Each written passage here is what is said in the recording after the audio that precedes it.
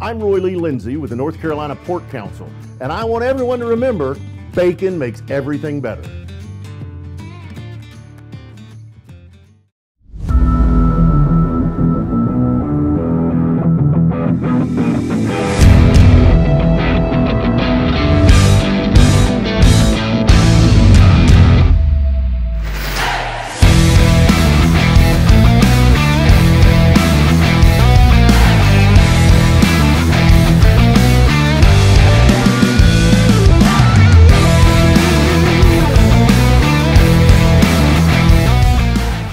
Welcome to This Week in College Football with David Glenn, brought to you by the North Carolina Pork Council. Thank you so much for joining us for another week here on the show.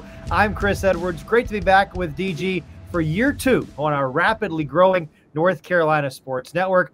On our weekly show here in 2024, DG and I are going to mostly look ahead to the upcoming week's college football action, but we'll also discuss college football's biggest headlines, take a quick glance back at some of the action from last week with DG's expert analysis, and look at the biggest games and developments from the previous week's schedule. DG, now in his 38th year covering college football, both here in North Carolina and around the Atlantic Coast Conference. DG, always good to be with you, my friend.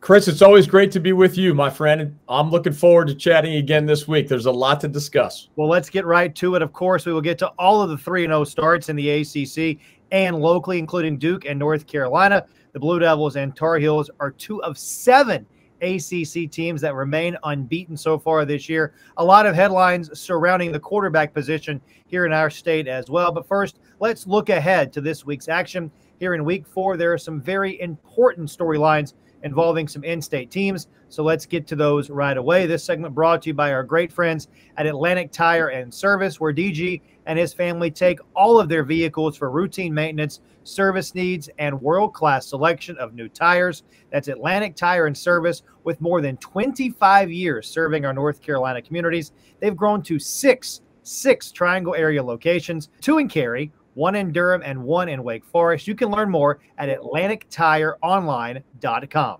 Okay, DG, game one, NC State. They're two and one off that win over Louisiana Tech last week. They're at one and one Clemson this week. Tigers a 20 point favorite, and the Wolfpack a new quarterback this week as well. Yeah, Chris, if you and I were asked to tap into the evil genius side of our personalities, and come up with the most difficult challenge for an ACC football player, our answer might be the following asking a true freshman, specifically at the quarterback position, to make his first career start at the college level on the road against a nationally ranked opponent that happens to be hosting the game at Death Valley, which is one of the most difficult environments in all of college football. Oh, by the way, Let's put the game on national television on Saturday afternoon just to maximize the pressure and the scrutiny on the young man.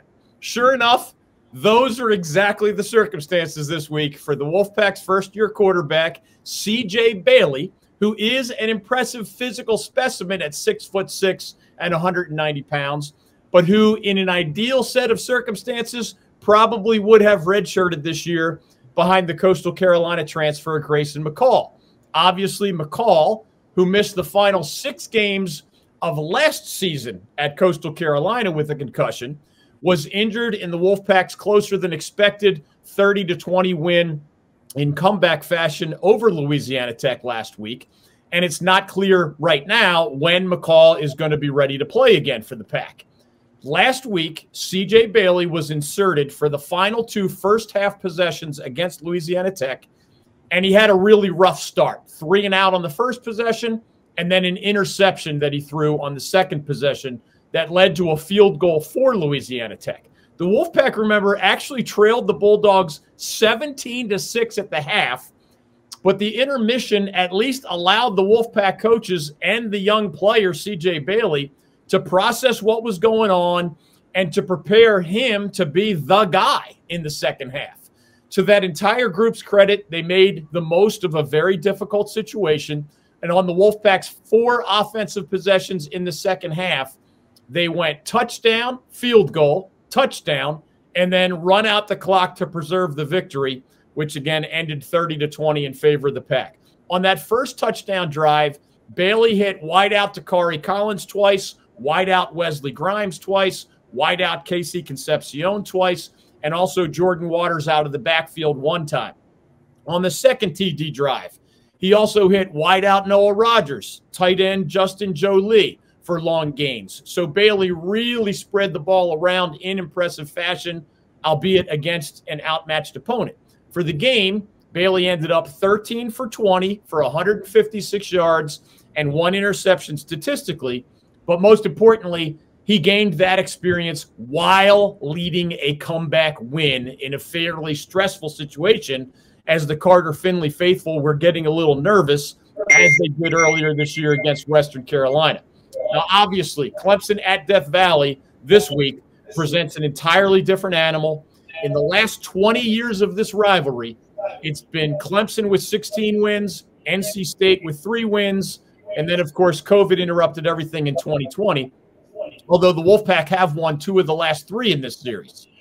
The Tigers have one of the best defenses in the entire ACC, and they're coming off an open week after that 66 to 20 demolition of App State. It would be a shock to me if the Wolfpack came away with an upset on Saturday afternoon. Just remember this about CJ Bailey in the longer run. He was a three time first team All State player and a two time state champion in the state of Florida while leading a small private school named Chaminade Madonna Prep in Hollywood, Florida, where I actually lived for a while. He was not considered an elite recruit, mainly because he played in Florida's small school classification, but he played so well as a senior in high school that the Miami Hurricanes, right down the road, did come calling to him with a late scholarship offer from Mario Cristobal. All right, game two, DG, another unbeaten team, the North Carolina Tar Heels. 3 0. They're at home this week against James Madison. ACC Network has the game. The Tar Heels opening as a 10 point favorite. Yeah, the Tar Heels are in one of these classic good news, bad news situations in my eyes. The good news is, under some very difficult circumstances, including injuries and subpar play and unpredictable chaos at the quarterback position, they have figured out a way to beat Minnesota of the Big Ten on the road, then Charlotte and NC Central at Kenan Stadium. The defense and the special teams have been very good overall, and the offense has been, we'll say, good enough. So against James Madison this week, the Heels have a legit chance to start 4 0 before their ACC schedule begins. And of course, it doesn't get any better than 4 0, even if you might not like the beauty of those pictures on the scorecards, as we said last week. The bad news, of course, includes the fact that at the most important position on the field, the Tar Heels have lost their starter, Max Johnson, for the entire season because of that broken leg he suffered at Minnesota. As we outlined in great detail here on this show and also at our website, ncsportsnetwork.com, Carolina's backup quarterback, Conner Harrell, has just never shown the ability to run a functional passing attack at the college level. And we got some pushback on that from some Carolina fans who thought he should have been starting way back at the beginning of preseason practice in August. Will hesitate to say, I told you so, but that West Virginia bowl game debacle was real. And it's just fair to say at this point in the young man's career, he has not yet shown the ability to run a functional passing attack. Even NC Central, an FCS opponent, was able to expose that this past Saturday. Carolina actually was stuck in a 17 to 10 game against Central into the fourth quarter. And it was up to the Heels' third string quarterback, Jacoby Criswell, a guy who hasn't taken many meaningful snaps in his entire five year college career to bail the Tar Heels out against the Eagles. To his credit, Criswell looked confident at times in the passing game, although obviously Carolina rode their star running back, Omarion Hampton, 25 carries, 210 yards, three touchdowns on the ground, all the way to that victory. Although, after Carolina, by the way, did nothing with Harrell at the controls against Central, Criswell led three straight first half scoring drives, mostly by complementing Hampton's running with short passes to either star tight end Bryson Nesbitt or his wideouts, including this week's featured guest on the David Glenn Show, J.J. Jones, the senior for Carolina. In the second half, Harrell did come back in for one early possession. That resulted in another punt. And then Criswell led three touchdown drives in the fourth quarter as the Tar Heels pulled away from NC Central.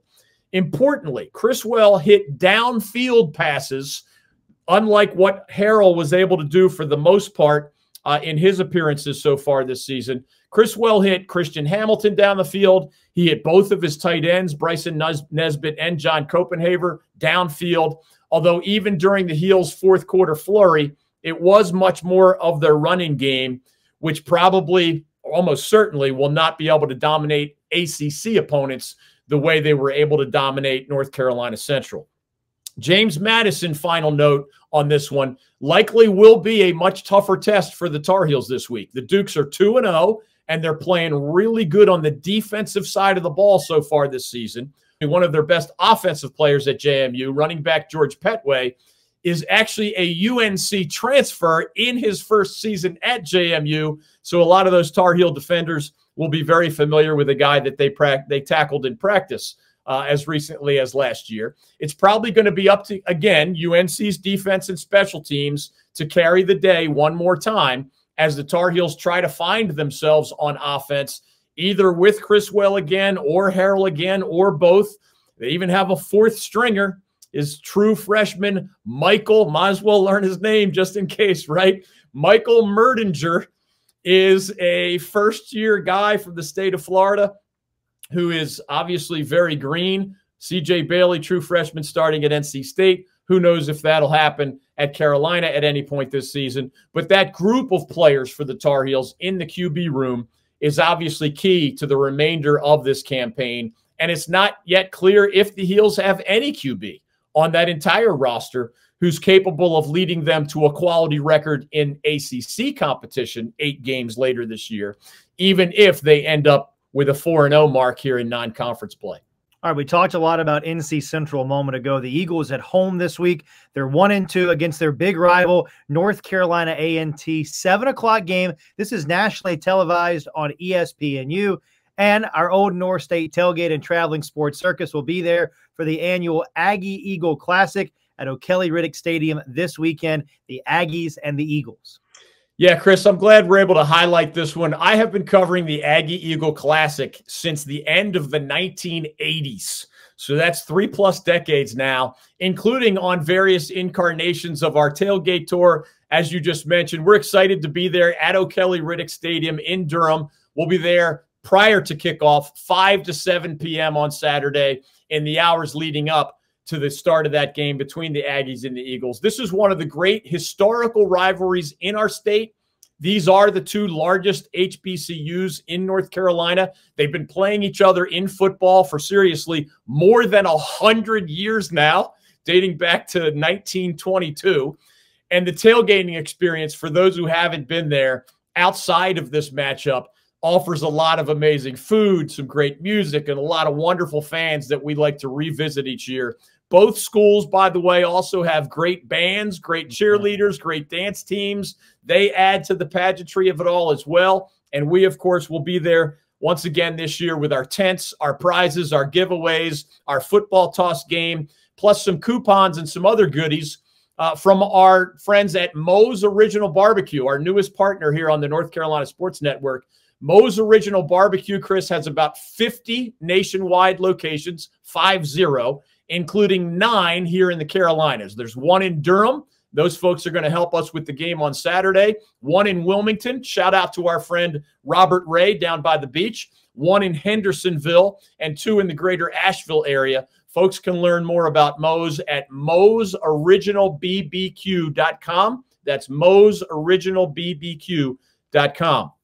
Now back to the game. Although North Carolina A&T has had the advantage in this gridiron rivalry historically speaking, under head coach Trey Oliver, who's a former NC Central player and star player, the North Carolina Central Eagles have managed to swing the pendulum back to their advantage in recent years. After the Aggies won seven of 10 head to head matchups from, from 2011 through 2021, the Eagles have captured the last two games in this series including last year in Greensboro on A&T's home field and the previous year in Charlotte when these two got together in the Queen City.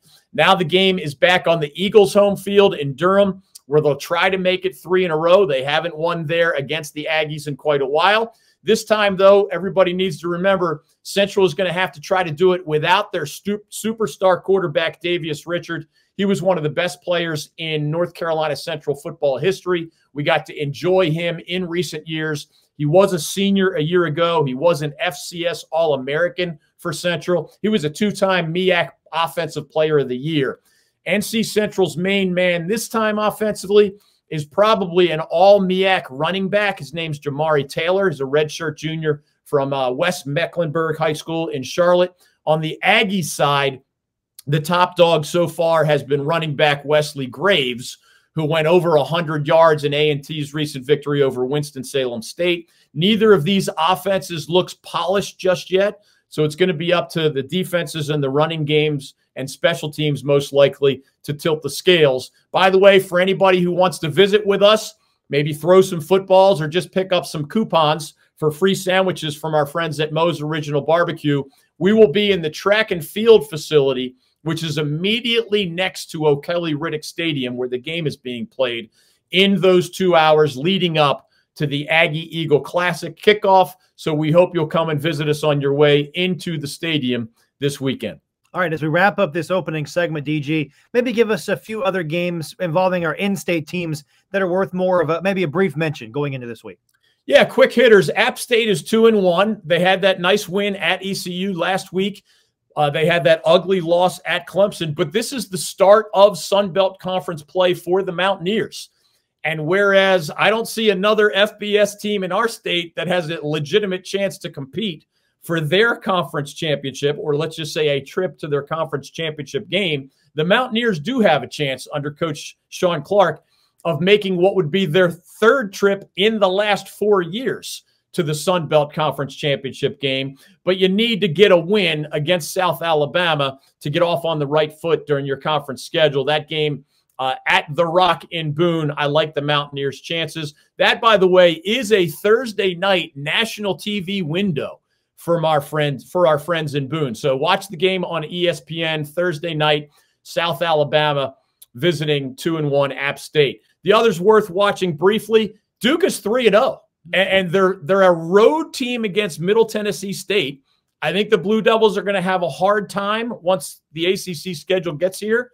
They're just not a very good running team, and they're putting too much pressure on their quarterback Maalik Murphy's shoulders. To his credit, the Texas quarterback transfer, Maalik Murphy, has delivered under pressure to lead that win in overtime at Northwestern that you and I discussed in great detail this week. It was another impressive comeback against UConn at Wallace Wade Stadium in Durham this past week. So the Devils, like the Tar Heels, legit shot at 4 0 out of the gate, even if all the details aren't pretty. We'll see if Manny Diaz in his rookie season with the Blue Devils can reach that 4 0 mark as well. And finally, ECU is 2 and 1, and they visit an undefeated Liberty team. So this is a great test. Just as App State's visit to Greenville was a litmus test for Mike Houston's team uh, in on its home field, this is maybe just as difficult a road trip because Liberty has built a heck of a program there. The Flames are out to a 3 0 start. I love the way ECU has been playing defense this season, including against a really talented App State offense in that close loss to the Mountaineers. Pirates just need more from their own offense if they're going to go on the road and beat the Flames on their home field at Liberty. All right. We have more of This Week in College Football with David Glenn, presented by our friends at the North Carolina Pork Council. It's coming up in just a moment right here on the North Carolina Sports Network. In sports, we talk a lot about impact players who make a positive difference. When it comes to our state's economy, the North Carolina pork industry is a true MVP. Each year, the pork industry plays an important role in supporting rural communities across our state. It contributes more than $10 billion a year to the North Carolina economy and supports more than 44,000 jobs. Learn more about their positive impact at ncpork.org. The North Carolina Pork Council, the foundational partner of the North Carolina Sports Network.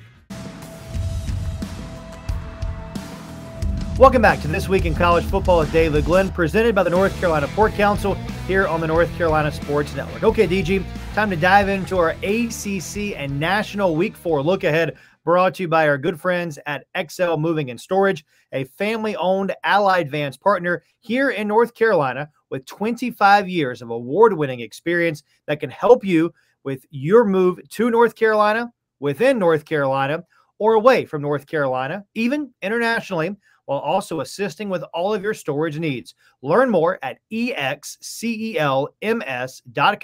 That's XL Moving and Storage. DG, there are four top 25 versus top 25 matchups on the national schedule this week. One of them involves Tennessee that recently hammered NC State in Charlotte. So before we get into the more intriguing ACC matchups, let's start with the Volunteers, number six in the polls this week, 3 and 0, hosting new SEC member Oklahoma. The Sooners, number 15, this game in Norman, 7.30 Saturday night on ABC. The Volunteers opening as a seven point road favorite. Yeah, as you might guess, ESPN's very popular college day, game day show and crew will be there in Norman for this one, and understandably so. It is by far the highest profile matchup of the entire college football weekend. Both teams are undefeated, as you mentioned. The Volunteers have that exciting young quarterback and have been absolutely annihilating their opponents so far, including the Wolfpack, as you mentioned in Charlotte. It's Oklahoma's first conference game as a member of the SEC. And oh, by the way, this is a fun wrinkle. Tennessee's head coach, Josh Heupel, is a former Oklahoma star quarterback and was the Heisman Trophy runner up back in the year 2000 while wearing the Sooners uniform. He will be on the opposite sidelines, of course, while leading the Volunteers. Besides us seeing the Vols in Charlotte two year two weeks ago, there's another somewhat local angle to this one that I wanted to mention quickly. The longtime Clemson defensive coordinator, Brent Venables, who was a part of those national championship teams and a lot of other great success with Dabo Swinney at Death Valley. Coach Venables is now in year three as the head coach at Oklahoma. He went six and seven in year one, 10 and three last season with a top 25 national finish. Two weeks ago, the Sooners actually struggled at home before beating Houston, while Tennessee, as we've seen, has outscored its three opponents by a score of a wait for it average score of 64 to 4. That's probably the reason why the Volunteers are favored by a touchdown in this one, even as the road team. This is probably the must see TV game of the entire football weekend, but it's certainly that at the college level. All right. Let's talk a little ACC football now. Three and one Georgia Tech on the road, a very quiet, undefeated two and zero oh Louisville team. The Cardinals number nineteen in the poll this week. Three thirty game on Saturday. ESPN two. Louisville a ten point home favorite over the Yellow Jackets. Yeah, whether you're a Wake fan, a Duke fan, a State fan, or a Carolina fan, I think you have to wonder about how difficult your schedule is going to be once we get to the full fledged conference play. And I bring up this matchup between Georgia Tech and Louisville in part because whereas we know the Miami Hurricanes are a good looking football team, I would argue that even though Clemson got whacked by Georgia to start the season, we know that Clemson can be a really good football team and might end up in Charlotte in the ACC title game once again. We we've seen Georgia Tech enough to know that it's a good football team, maybe not great, we'll see. We know nothing about the Louisville Cardinals. I mean, they're in the national rankings after a 2 0 start that has essentially been Cupcake City. The most interesting thing about this one to me is that Louisville has to play a decent football team, maybe even a really good football team in Georgia Tech, because at this point, we have absolutely no idea who the Cardinals are. They did crush both of their first two opponents, but those opponents were the definition of Cupcake City. Austin Peay and Jacksonville State who are a combined 0 and 6 so far this season. Now, we have seen almost every other ACC team against at least one and sometimes more quality opponents, but not Louisville. So even though the Cardinals are nationally ranked at number 19, even though they are undefeated at 2 0, there is no reason in my eyes yet to put them up there on the similar plateau as nationally ranked Miami or nationally ranked Clemson or even a Boston College or anyone else you might want to put up there. If Louisville can beat a pretty solid looking and well coached Georgia Tech team just one year after Coach Jeff Brohm took the Cardinals to the ACC title game in what was then his first year back at his alma mater, that would add one more intriguing contender to the 2024 ACC race, and it would better define what some of our in state teams have to deal with on their remaining schedules. By the way, we know that Georgia Tech has one of the best dual threat quarterbacks in the ACC in Haynes King. Louisville thinks that it has its answer at QB in the form of a seventh year college senior named Tyler Shough. Shough spent three seasons at Oregon, then three seasons at Texas Tech, and now this is his first year with the Cardinals. He had only 20 career starts total prior to this season over those six years at other schools, and he compiled a 13 and 7 record in those games. He has been injured pretty much everywhere and every time he has been thrust into the starting role. So Louisville's coach Jeff Brohm, who's a former Louisville QB himself, remember, and he's something of a QB whisperer as a coach. He has said that Shough's former teams asked him to run the ball quite a bit because he's a pretty good athlete, but that contributed to some of his injury problems that kept knocking him out, and that the Cardinals are mostly just going to ask Shough to stay in the pocket and run a more traditional passing offense, as Coach Brohm did himself back in the day. He has Ja'Corey Brooks, an Alabama transfer and a former prep All American, who's off to a great start during his first year now with the Cardinals. A lot of the metrics and the analytics in this one, Chris, like Louisville a lot to win this game. And as you said, the Cardinals are a 10 points favorite.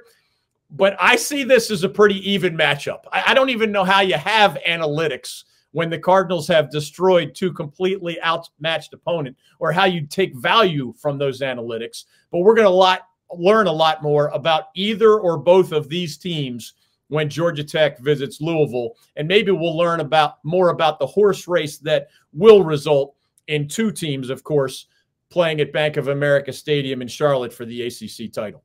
All right, our final game of this segment is just like everybody drew it up in the preseason. New ACC member Cal, 3 and 0. The Bears come to Tallahassee to take on 0 and 3 Florida State. Remember, DG, two of those three losses for the Noles are in ACC play. Florida State, a two point favorite, 7 o'clock Saturday night, ESPN 2. I don't want to put words in your mouth, but for me, feels like a must win game for the Seminoles.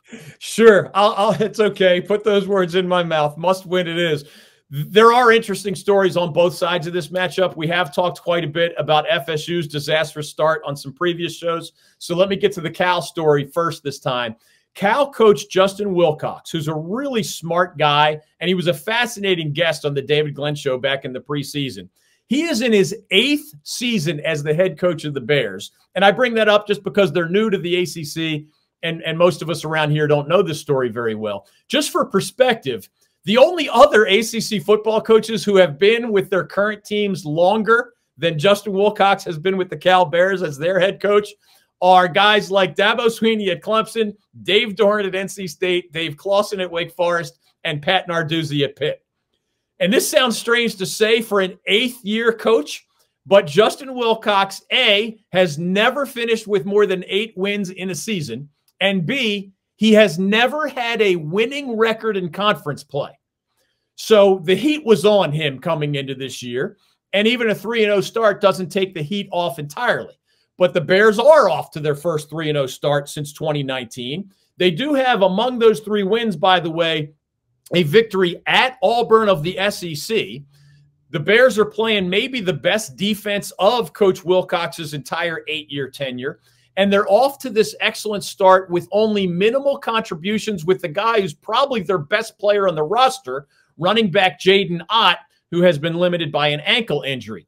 Ott's backup running back, Jaivian Thomas, is averaging about eight yards per carry. He's among the ACC's rushing leaders right now. So that suggests that there's some power to that offensive line, regardless of who is standing behind it. As for the Seminoles, we pointed out last week that 11 players from their ACC title team of a year ago are on NFL rosters right now. That is an absolutely massive exodus of high level talent to the professional ranks. And it was unrealistic for anyone to expect that there wasn't going to be a significant adjustment period in the aftermath of that. I'm not saying you should have predicted or expected a crash, but definitely some challenges. Well, now FSU is 0 3 has been absolutely horrendous on the offensive side of the ball. where they're averaging only 15 points per game. That is by about 10 points the worst in the Atlantic Coast Conference. Unlike last year when they had Jordan Travis, now on an NFL roster, at the quarterback position.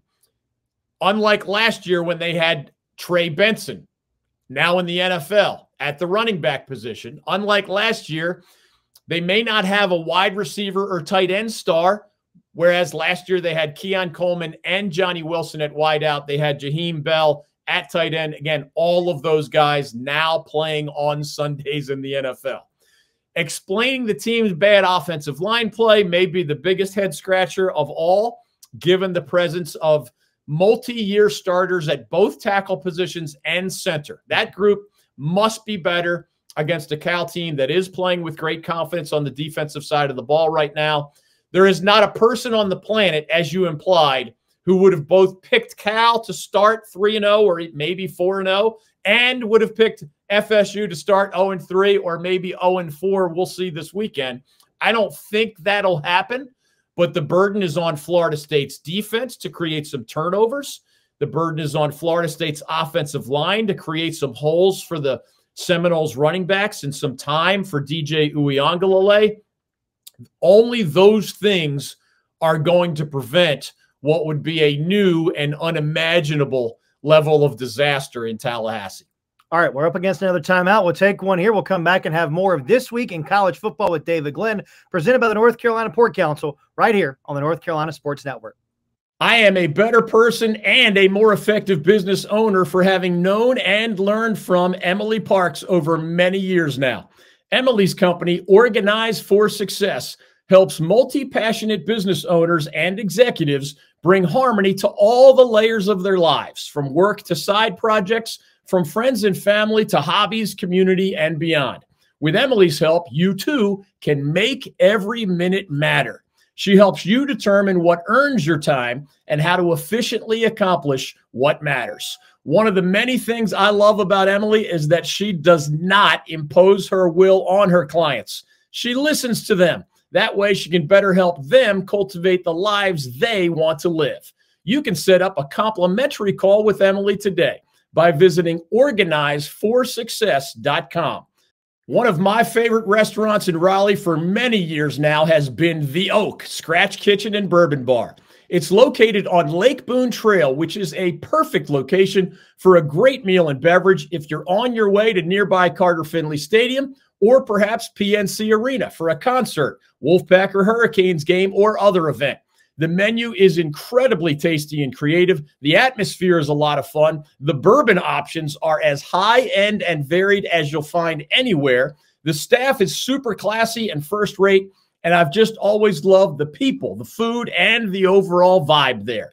When I took Carolina Hurricanes owner Tom Dundon to lunch, yes, meaning the billionaire who owns the hockey team, I took him to the Oak. Seriously, it's that good. Learn more or make a reservation by visiting their website, theoakraleigh.com. That's theoakraleigh.com. Welcome back to This Week in College Football with David Glenn, presented by the North Carolina Pork Council, right here on the North Carolina Sports Network. DG, time for our coaches and quarterback segment, brought to you by our good friends at Lawson Insurance who are about to celebrate their 50th anniversary of helping DG and many other North Carolina citizens and businesses with their personal and commercial insurance needs. You can reach out to the brothers Ken Miller and Michael Lawson, just like us. They're all huge sports fans. Give them a call, 919 846 2090, or search Lawson Insurance online. Okay, DG. Now, NC State and North Carolina both have had an unusual amount of quarterback turmoil so far throughout the course of the opening three weeks of the season. I'm curious who has the better chance of finding a good answer this season on the field, the Wolfpack or the Tar Heels at the quarterback position? And why do you think it's that team? Well, it's funny that the Lawson Insurance folks sponsor this segment, Chris, because all three of those brothers, let's just say that a portion of that trio roots for the Wolfpack and a portion roots for the Tar Heels. So your your question and perhaps this answer are very relevant to that particular insurance office. Uh, my answer as to who has more promise at that most important position on the field? Short answer NC State. True freshman CJ Bailey and maybe the return of the fifth year senior Grayson McCall at least offer promise in Raleigh. I can't predict what's going to happen. I don't know what's going to happen, but I like the potential more than I do in Chapel Hill. At UNC, Jacoby Criswell is in his fifth year of college football, and Conner Harrell is in his third year of college football, and neither has ever shown anything to suggest that he is capable of being an above average quarterback by ACC standards. Harrell has that deer in the headlights look that we described on previous shows on many passing plays if he has to go to more than one progression. And Criswell, while he did have his moments against NC Central last week, as we mentioned earlier, he has never started and won a game against an FBS opponent at the college level. That'll be his challenge, of course, if he starts against JMU this week. In the case of Grayson McCall at NC State, he does have a long and large body of work that includes three time Sun Belt Player of the Year, that includes 10,000 plus career passing yards at the FBS level, that includes a 34 and 9 career record as a starting quarterback at the FBS level. That's a lot of victories. That's a lot of experience. Two things the Carolina guys just don't have. Dave Doeren described Grayson McCall's status as day to day uh, late last week or over the weekend. So we don't know how long he's going to be unavailable. CJ Bailey offers promise, again, under brutally difficult circumstances at Clemson this week. But you asked the question in the long run this season, and those are the reasons that the promise of CJ Bailey and the body of work of Grayson McCall, to me, offer more promise than anything we've seen from those second and third string quarterbacks at Carolina now that Max Johnson is out of the picture for the rest of the season. All right. Now, on the flip side, there are seven ACC teams that remain unbeaten at this early stage in the season. Cal, Duke, Louisville, Miami, North Carolina, Pitt, and Syracuse are all undefeated. Now, of those seven teams, which ACC head coach do you believe might deserve the most credit for what they've done behind the scenes to get their team off to a good start? Yeah, I'd like to start by saying I think all seven deserve credit, but for a wide variety of reasons. And let me say that I would put both Manny Diaz of Duke and Mack Brown of Carolina somewhere on the medal stand because it is not easy to start 3 0 when your opponents know most of your obvious weaknesses. Duke isn't great on the offensive line this year. Duke's having trouble running the ball, but the Devils are 3 0 with a chance, a good one, to get to 4 0. Carolina has been in complete chaos at quarterback and has an almost brand new offensive line, but thanks to defense, plus special teams, plus running back Omarion Hampton, who once again is ranked among the nation's top five leading rushers. The Tar Heels are 3 0 with a very good chance to get to 4 0 this week. I do not take such things for granted under difficult circumstances, even if I think the Devils and the Heels, and I do, are going to have some serious struggles once the ACC schedule rolls around. My gold medal winner, with all that said, in this category so far, it's still early, as you said, is Pitt head coach Pat Narduzzi. The Panthers were a flat out bad football team last season. Their 3 and 9 record was the worst of Narduzzi's entire time there, and he's been there for close to a decade at this point. And after the season, they lost quite a bit of talent to the transfer portal. Duke and Pitt maybe lost more than any other ACC teams on the outbound in the transfer portal 2023 style. But Narduzzi made some really difficult decisions. One, he hired a new offensive coordinator. That's Western Carolina's own Cade Bell, son of the Catamounts head coach Derwin Bell, our guest on the David Glenn show. Uh, excuse me, Kerwin Bell. And, and the other difficult decision was going with a redshirt freshman at quarterback. He chose Alabama transfer Eli Holstein as his starting quarterback over a veteran, Nate Yarnell, who had been with the Panthers for several years. Those decisions, along with some really high effort performances by the entire Panthers team, have paid off with this 3 0 start that, remember, included two challenging opponents in Power 4 Cincinnati and Power 4 West Virginia. The Panthers actually trailed the Bearcats 27 to 6 on the road You know what your winning percentage is under those circumstances? Not good. It ain't high. You got it, brother. It, and, and by the way, it was 27 to 6 on the road in the second half. And the Panthers came back to win that game 28 to 7. Uh, 28 to 27, excuse me. That is one of the most impressive wins by any ACC team in this entire season so far. Then at home, the Panthers trailed the West Virginia Mountaineers 34 24 in the fourth quarter. Again, winning percentage not great historically. Panthers came back to win that one 38 34, with Eli Holstein being among the stars. Those two comeback victories in those sorts of extreme difficult circumstances, both again against power four opponents, a lot of these pretty 2 0 or 3 0 records come at the expense of some cupcakes, at least one or more. They have made the details of the Panthers 3 0 start that much more impressive. The heart behind two of those victories were was just incredibly impressive to me. When all appeared lost, Pat Narduzzi's guys kept fighting against quality opponents. And again, one of those two was on the road. Quick PS on this one one of the best newcomers in the entire Atlantic Coast Conference is Western Carolina transfer running back Desmond Reed of the Panthers. Cade Bell knew he needed dudes, right? So he got one of his guys from Western to follow him to Pitt. Desmond Reed is now the number one running back for the Panthers. He was great for the Catamounts, remember? and Kerwin Bell. He's been great in the Atlantic Coast Conference. Some wonder can you make the jump from FCS to ACC? Desmond Reed has done it in style. Right now, the two leading rushers in the ACC are the All American Omarion Hampton at UNC, and yes, former Western Carolina star Desmond Reed, now of the Pitt Panthers. They're the only two, by the way, averaging more than 100 rushing yards per game at least for now in the ACC. Desmond Reed also leads all ACC running backs in receiving.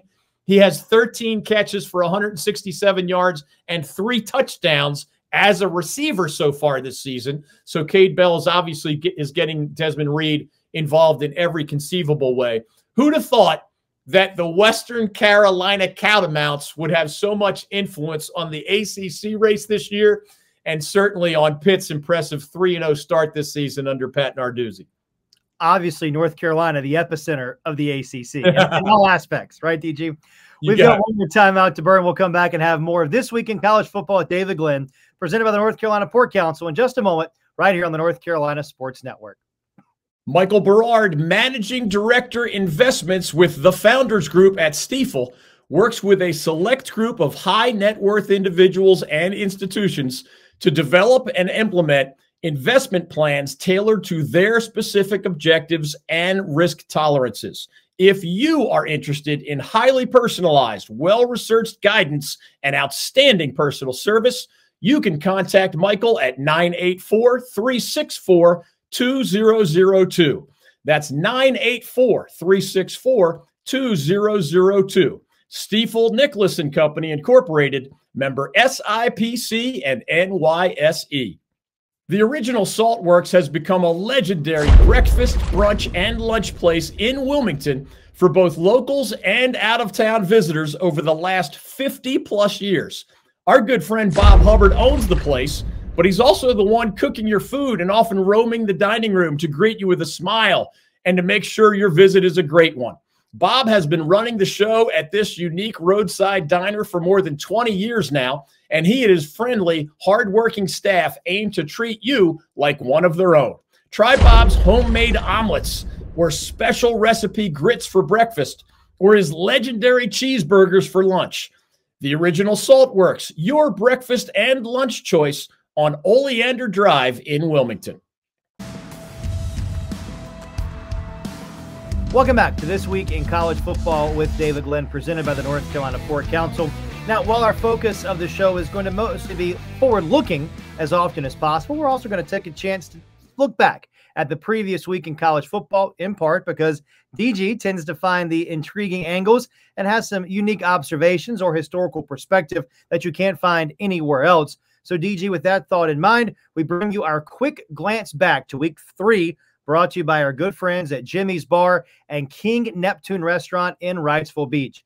Jimmy's has a full bar nightly drink specials, live music 365 days a year.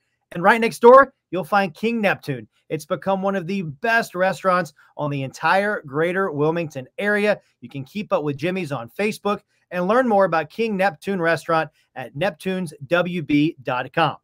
Week three, some intriguing developments beyond those that we've already talked about, DG. And one of those happened in Greenville, where App State edged East Carolina 21 to 19. Mountaineers now 3 and 0 all-time head-to-head against the Pirates since they started playing each other as FBS programs. So, with that thought in mind, did you see more good news for the Mountaineers or more bad news for the Pirates?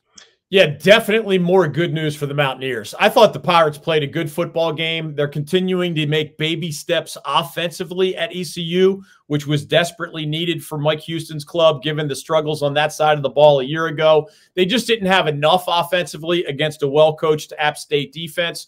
So, my answer, bottom line, is that App State showed more good things and promise than ECU showed bad things. I still think the Pirates are going to have a much better record in the end than last year's 2 and 10 debacle. What I saw at App State was exactly what we predicted on this show one week ago. We thought it would be a close game, and we thought when push came to shove, the accomplished quarterback, fewer mistakes, more experience of Joey Aguilar for App State was probably going to make the difference. And it was. On that game winning touchdown drive, he made a huge, huge throw uh, that one was to Makai Jackson for, I think, a 36 yard touchdown that ended up sealing the fate in this game. When you have a proven quarterback in Joey Aguilar, a couple of reliable running backs, actually, the Pirates were so strong on the front seven that they made it hard for the Mountaineers to run the ball. But I would want Anderson Castle and Kanye Roberts as my one two punch in the backfield, as Shawn Clark has at App State. The receiving corps has Kaedin Robinson and Christian Horn and Makai Jackson and Eli Wilson. I think it was our own Mike Waddell who had a great video of Eli Wilson's touchdown catch in that game, which of course was another key play in a relatively low scoring matchup. 21 19 App State. It was Makai Jackson, the receiver, with one long touchdown reception. It was Eli Wilson with the other touchdown reception from Joey Aguilar. The line isn't as dominant as many App State lines have been in the past. Shawn Clark, a guy who loves his offensive line play, probably wants to see that get better. I don't think the Mountaineers are as great defensively as some of their other teams have been, uh, even under Shawn Clark. But now that they're hitting the Sun Belt schedule, maybe those areas will improve while a lot of those other pieces are already in place. I heading into the season, I understood why the Sun Belt media made the Mountaineers one of the favorites to win that league or at least play in that league's title game again. Uh, and I think after the Mountaineers two and one start, with the only loss being to a very talented Clemson team at Death Valley, I haven't seen anything bad to change my mind about that high and promising forecast for App State. Uh, but but I'm glad you asked the question that way because there was no alarm bells for the ECU Pirates in lo losing to a quality, talented, well coached App State team in Greenville. We'll see if the Pirates can pick up the pieces uh, during their trip to Liberty. But I really like how App State bounced back from the Clemson debacle and took a step forward at ECU as the Mountaineers enter Sun Belt play. Now, as you know, on our show and across the North Carolina Sports Network, we celebrate all things college football in North Carolina, not just our FBS programs, not just our power conference teams, all of the great things going on here in the old North State. So, with that thought in mind, among the in state teams and players, and it can be at any level of football, who else did you see as deserving of a shout out for their performance last week? Yeah, there's a bunch of them. I mean, shout out to Maalik Murphy of Duke for leading another comeback victory. Shout out to Jacoby Criswell, who remember was a Tar Heel, transferred to Arkansas, where he was stuck behind other talented players you know, as a Tar Heel, he's stuck behind guys like Sam Howell and Drake Maye. Nothing to be ashamed of there. Didn't play much at Arkansas and, and transferred at the last minute back to Carolina, where he probably expected to be a little used third stringer who would qualify only as the break glass in case of emergency guy. Well, guess what? Mack Brown had to break the glass with Max Johnson out and with Conner Harrell struggling. Jacoby Criswell, for those who didn't see it, stepped in in a scary game against NC Central and led those first half and second half drives to prevent what would have been a disastrous home loss for the Tar Heels. Beyond those guys, uh, I want to give a quick shout out to both Lenoir-Rhyne and Wingate at the the Division two level. Lenoir-Rhyne, remember, played in the D2 national championship game a year ago and lost their coach to Mercer of the FCS. They, under a new coach, they've started well and they're number six in one of the polls. So they certainly have not dropped the ball, so to speak, after a coaching change. And oh, by the way, Wingate posted a win over a top 25 opponent last week, and Wingate debuts in this week's top 25. So I'm always excited. We don't often have teams in North Carolina that are in the Division three top 25. We, of course, have seen both North Carolina A&T and NC Central win the HBCU national championship as FCS opponents, uh, or as FCS programs, rather, in our backyard, who happen to be opponents this Saturday as we bring the Old North State tailgate to O'Kelly Riddick Stadium in Durham on Saturday night. Again, come to see us from 5 to 7 p.m. leading up to that kickoff.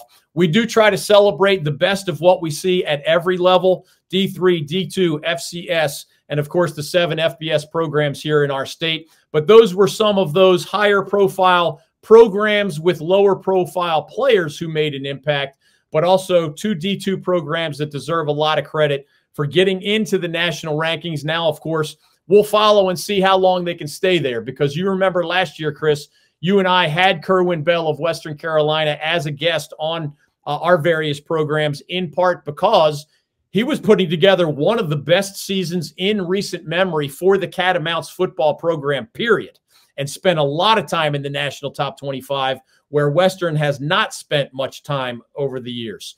Uh, in this case, we'll see. Either Lenoir-Rhyne is going to keep up what has been a fascinating football tradition right here in our backyard. Wingate more of a newcomer to the top 25, but I'm glad we got a chance to give those two a brief shout out at the D2 level. And again, if they keep winning, we'll keep following, and you'll even see their coaches on our show as well.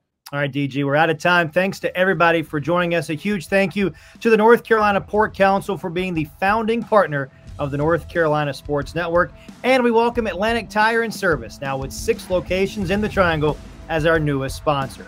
A quick reminder DG and his staff post daily articles at our fast growing website, ncsportsnetwork.com, which also has direct links on the homepage to this YouTube channel, the wide variety of places you can get on demand audio and podcasts of our show, The David Glenn Show, and all of our other offerings, and updates on year two of our old North State tailgate and traveling sports circus, which will be at North Carolina Central in Durham this Saturday and at Appalachian State in Boone on the final Saturday of September. For David Glenn, I'm Chris Edwards. Thanks again for joining us on This Week in College Football with David Glenn, right here on the North Carolina Sports Network.